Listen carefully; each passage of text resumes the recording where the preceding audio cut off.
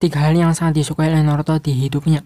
Inilah tiga hal yang paling disukai oleh Naruto ketika masih kecil. Walaupun di kehidupan Naruto sangat menyedihkan, yaitu dijauhi oleh banyak orang. Namun ternyata di sisi lain juga Naruto mencoba untuk bisa menenangkan dirinya dengan caranya sendiri, yang mungkin bisa membuat hati Naruto merasa tidak sendirian lagi.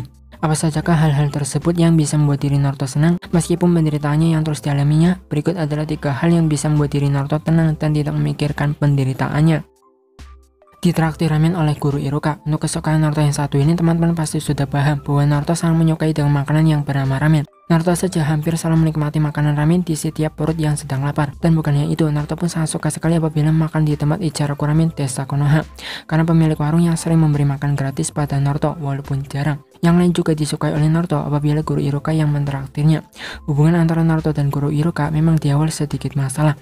Namun pada akhirnya guru Iruka adalah salah satu guru pertama yang mengakui keberadaan Naruto, sehingga Naruto pernah menganggapnya sebagai seorang ayah. Selain itu yang tidak disukai oleh Naruto ketika makan ramen apabila menunggu ramennya hingga jadi dan menunggunya sekitar 3 menit. Untuk pertama itulah yang disukai oleh Naruto memakan ramen dan ditraktir oleh guru Iruka.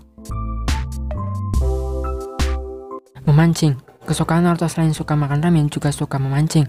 Walaupun pernah ditampilkan sesekali saat Naruto masih kecil, namun di sini membuktikan bahwa Naruto suka memancing. Salah satunya untuk melepaskan penderitaan dan kesengsaraannya, karena saat kecil Naruto hanya sendiri dan tak punya teman. Itulah mengapa untuk menghilangkan rasa sedihnya, Naruto memancing di sungai.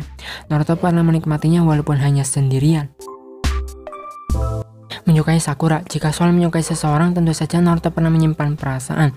Yang amat sangat-sangat disayangkan, cintanya Naruto tidak dibalaskan, atau bisa dikatakan Sakura tidak menyukai Naruto sama sekali, dan tak memiliki perasaan sedikit pun pada Naruto. Namun walaupun Sakura tak menyukai Naruto, Naruto berusaha untuk bisa menjadikannya sebagai teman. Selain itu, Naruto berusaha untuk memenuhi janjinya pada Sakura untuk menyelamatkan Sasuke yang meninggalkan desa Konoha. Meskipun seperti itu, hal ini Naruto pernah disukainya di sebagian hidupnya. Itulah sedikit hal yang pernah disukai oleh Naruto dan sekaligus untuk menghilangkan rasa sedihnya meskipun hanya sebentar.